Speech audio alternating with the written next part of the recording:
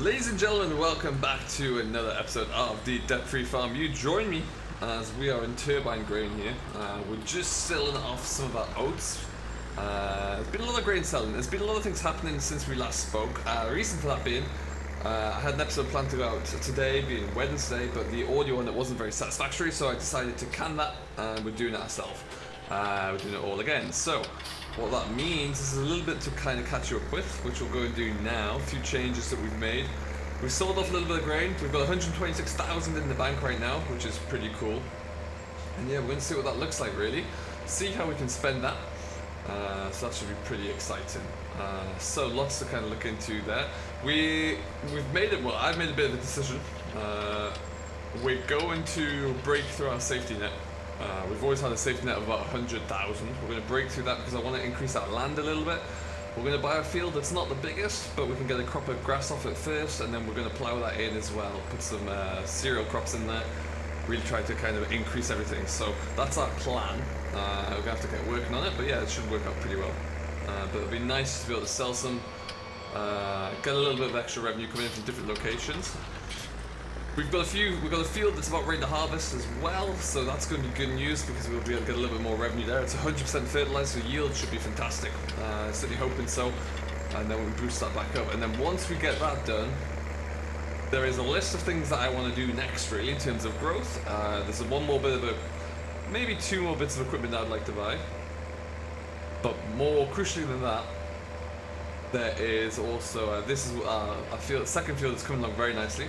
More crucially, there's uh, some changes to the yard that we want to make, and it's about time we start thinking about making those because uh, we're only getting bigger, really. Uh, we need some space to store all our equipment and bales and things like that, and also get ready for some chickens when they when they're ready to go. So, a few things that we need to kind of factor in there, really, I would say. Bounce around here, wash off the wheels. So this field on our right, left here is ready to go. It looks great, as you can see. So I'll have to have a look in on that one very shortly and get that all up and working. Grass has been growing as well, so we've started doing some uh, mowing and just about finished that. So what we're going to do, we don't have a baler still at the moment, so we're going to get everything mowed and then try and get the combine done as well, uh, all at the same time, then release that baler. And the good thing about that is, looky, looky, looky, we bought ourselves a combine, folks. Now, I think I alluded to in a previous live stream, but I'm also going to let you guys know here. What we've done is uh, I've gone into the files of the machinery, and according to websites like uh, Tractor Data, uh, Farm Trader as well, I found the most expensive version of a machine uh, in question, uh, and then I have uh, adjusted the value. And what, what I mean by that, the combine here was about 48,000, I think, starting price the highest value I could find on a used uh, British farm site, uh, farming trader was uh, 11 or 12,000. So I upped it to about 17. So we've got a little bit more realistic price in the machinery there. So it should make it a little bit more interesting. But crucially, we have a combine, which is great news. Really, really good news. Huge step up for the farm. That means now we can also look into um, we can now also look into contracts for combine, so that's huge. It's really good. We're going to park this in here for now.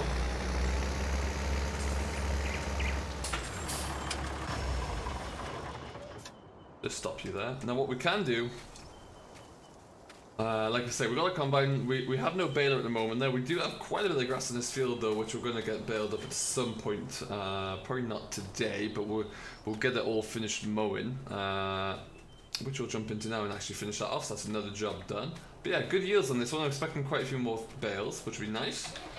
More is more. Get this away, and yeah, we'll finish this one off. As you can see, it looks like a much thicker crop there right now. This field over the hedge there still needs a little bit more growing to do, but we're going to always keep this field as grass for now because it's just a good cash crop for us at the moment. Uh, like I say, what we're probably going to do with our silage bales is stack them all up at the moment there. We're not going to sell them just yet. We're going to keep them until seasons is in play, uh, and then when we have a period where we need to get some more revenue coming in, we'll look to sell the silage off. So that's going to be the plan there. We might need it just to keep bills ticking over there or to get some more grain or something. Uh, but yeah, it's always a good idea. Uh, and then balers are the next option. I've managed to find a baler that I brought in that I haven't adjusted the price of the balers yet. I haven't looked at that. Uh, let me know down below in the comments below if you think we should do that. But it's currently looking at around about uh, 35, 25,000 sorry for a CLAAS uh, baler, uh, which will do the job that we need perfectly. Um, we might well do that and just keep it as it is. Or uh, I have another plan as well depending upon the cost, so we can get a because that's an ex expensive acquisition. I'm not willing to make yet, given how little we actually use the baler. That being said, we're we're trying to use it more and more. So I think I don't know. Maybe we just have to bite the bullet on that one. Uh, we do have some more wheat, uh, barley, and oats to sell. Uh, probably about uh, I think it's in the right region about 30, 35,000 uh, litres all in total. Uh, so we can get a bit of extra revenue for that. The price for wheat and barley just isn't that great right now, so we're going to hang on.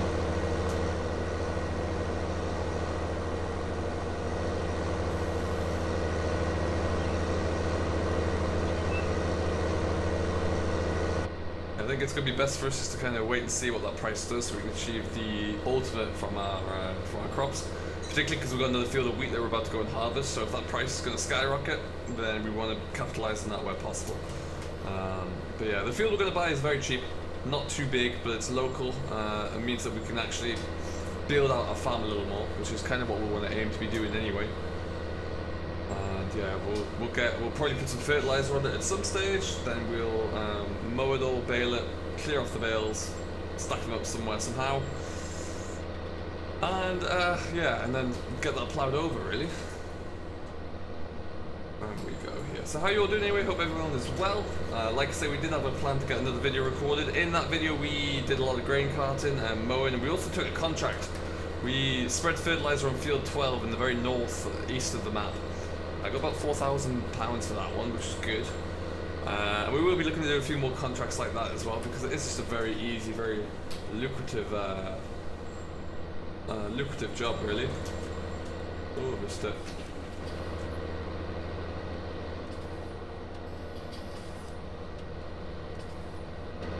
And away we go.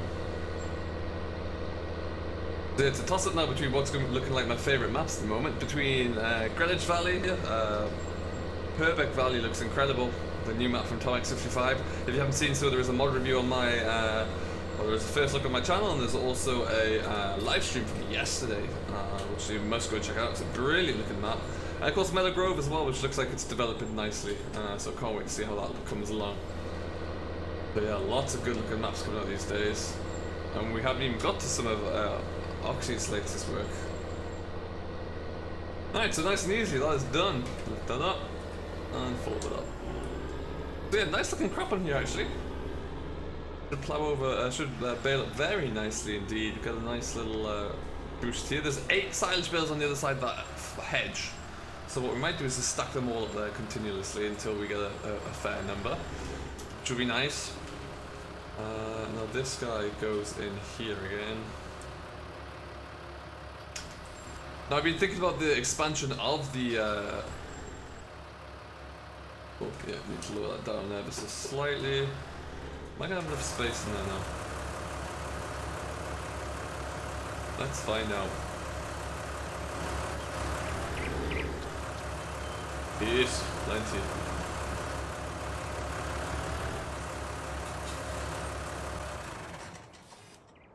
Been thinking about the expansion of the yard.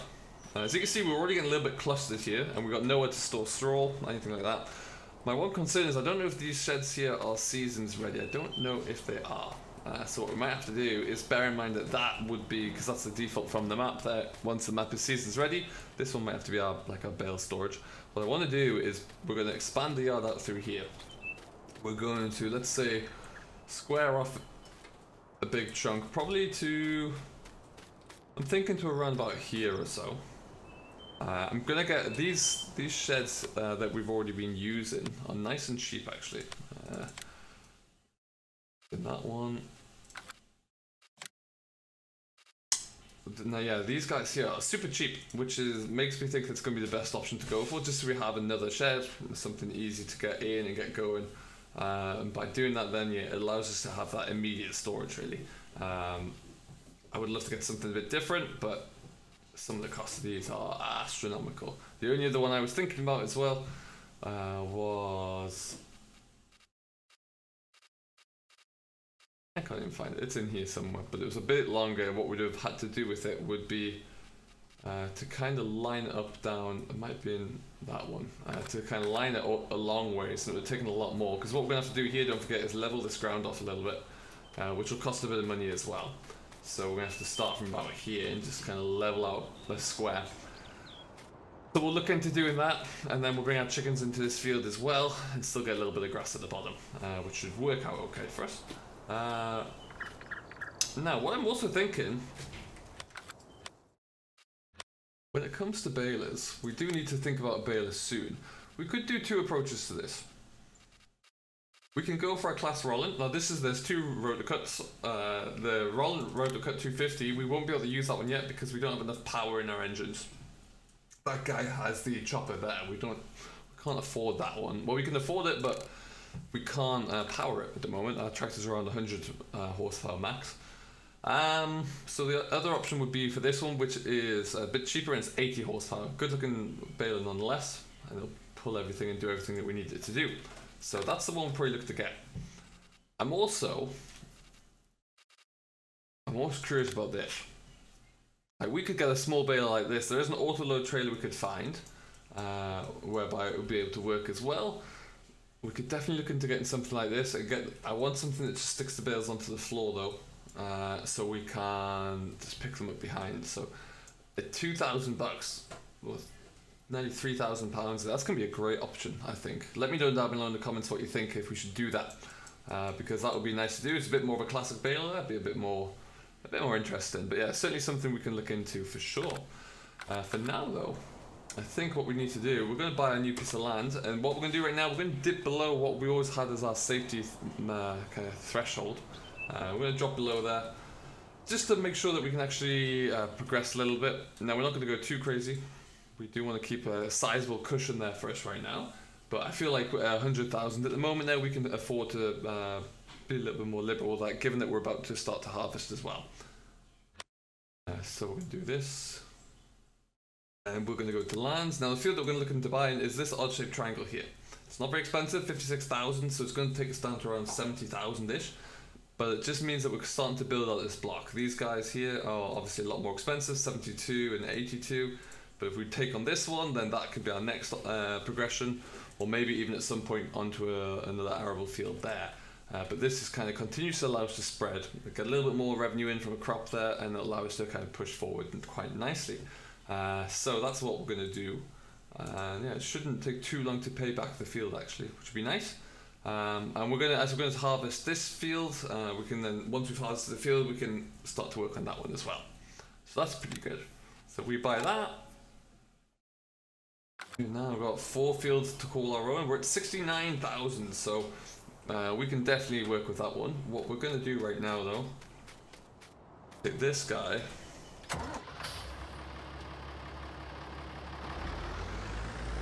Take this guy we're going to head on over to the field directly ahead of us, which we have to go around the road to get into. We're going to set the combine and start taking some headlands off, I think, see how the yield does. Uh, see how it's all looking. Like the idea is, like I say, we're going to wrap silage bales on that field that we've just finished mowing, so we'll get this field all knocked down as well, so the baler can come in and have two to hit, uh, and that'll keep us kind of keep us going on track really. There you go. But I'm excited to see what we get in terms of the yield there, because yeah, this is the first time that we've actually harvested our own large uh, large uh, crop really. Our first 100% uh, fertilized, no weeds, full yielding uh, crop of wheat. So very intrigued to see how this pans out. We'll just park you about here for now. Maybe not right there.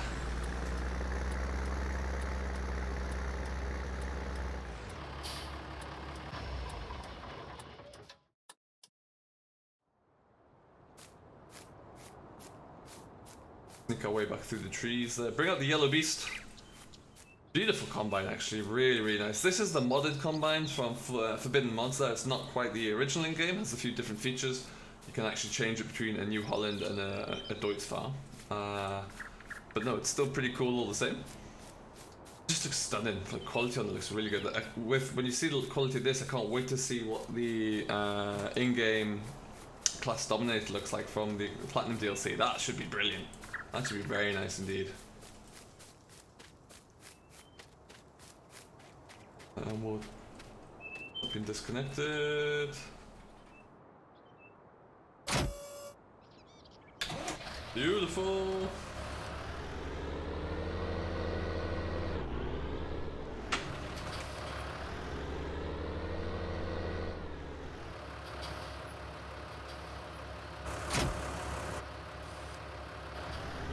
And around we go.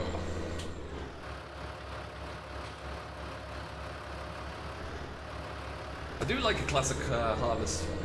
Using some of the older equipment there is really quite something. Very much enjoyable. And this uh, Greenwich Valley is perfect because you have so many smaller fields in there as well. So even if you have got the small header, I think the one behind me is a 14 foot. Uh, so it's not the biggest there, but it doesn't need to be. It handles everything exquisitely.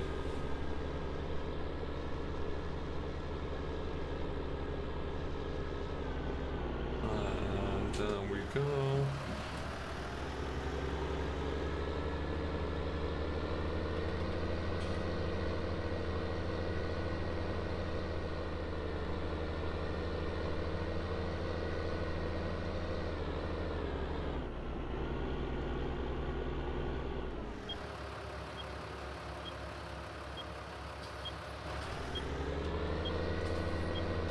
Excellent. Traffic's nice and quiet today as well, which is always a delight. We come here and let's just get this stuck in the corner. We don't need to move this tractor at all now. We haven't got anything else to do with it whilst the uh, whilst waiting, so we'll leave you there. Let's go and get the beast back running through the field again. But as you can see, as we come through the crop here, we're at 100% uh, fertilized, no weeds, nice clean looking crop as well. Perfect, absolutely perfect.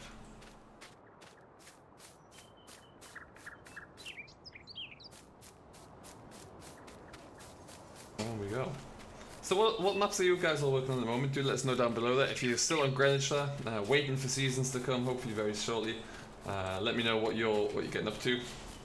Which maps are you looking forward to in the future? I know Purbeck is going to be a fan favourite for many, and rightly so.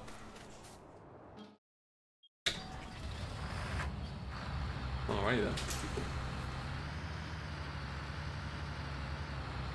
Need to find some space. Turn this beat around. We might just go straight out there, I think.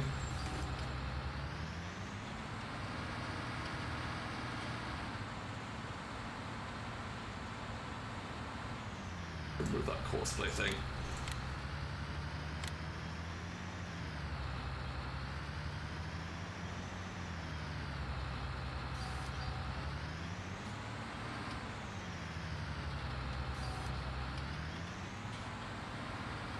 Excellent stuff, and away we go.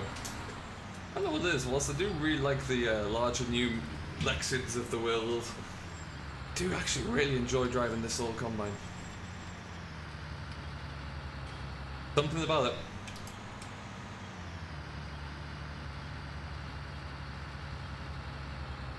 Although maybe taking out a bit of wall there wouldn't be the worst idea in the world. I have to look into that at some stage.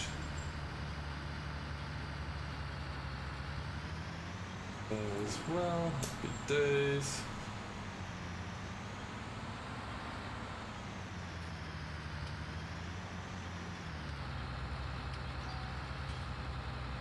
Wash the bottom of the combine off now as well. As you can see, the field that we just bought there isn't the biggest, but it does have a little bit of grass on there already. And we will come in and get that ploughed out once we've taken the bales off. Uh, might even put some fertiliser on it first, get a better crop of bales, see how that all looks. That could be something we'll look into in the live stream there, just get that uh, turned around, uh, whenever the next live stream will be.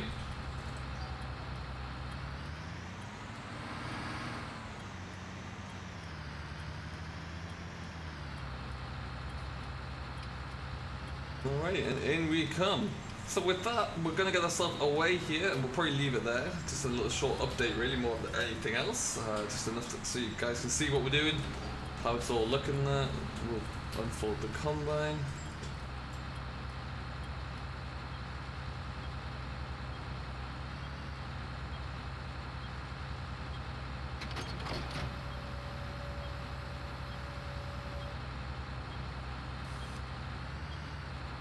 Back level, we need to connect everything here, I think.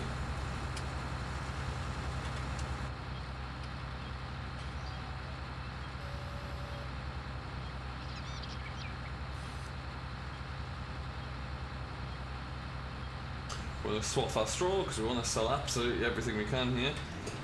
Let's get it firing up.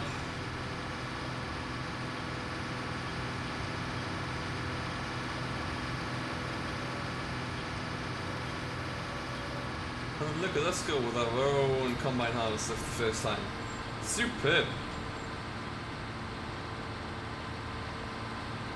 We'll take this first headland off, then we'll spin around and go the other way. Uh, so we put the auger out over the headland there. There's a lot of trees around here. I did go quite close to the edge, so gotta be a bit careful with that.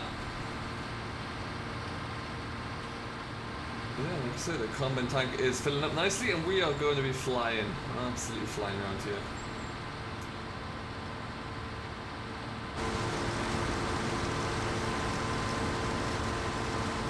One thing I wish that we could do is, uh, when you're not using the straw chopper on this uh, combine, just for it to be folded out of the way, really. Always looks a little bit silly having it kind of down at the back there, but never mind.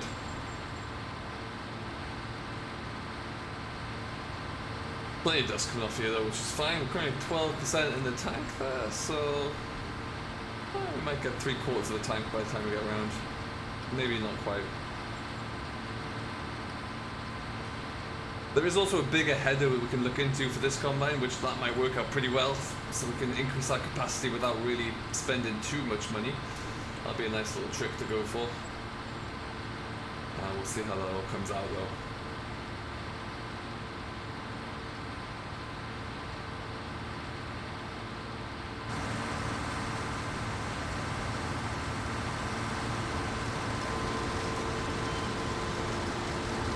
Yeah, beautiful looking combine. Really, really nice.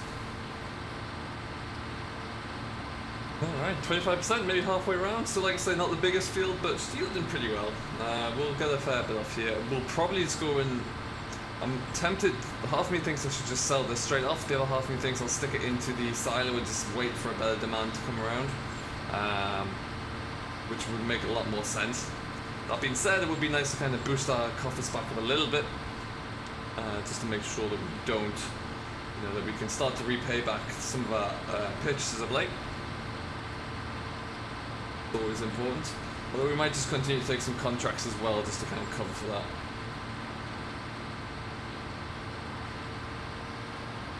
These two tram lines are where I finished my uh, courseplay on this field. I've come back into it. Did take those out quite nicely.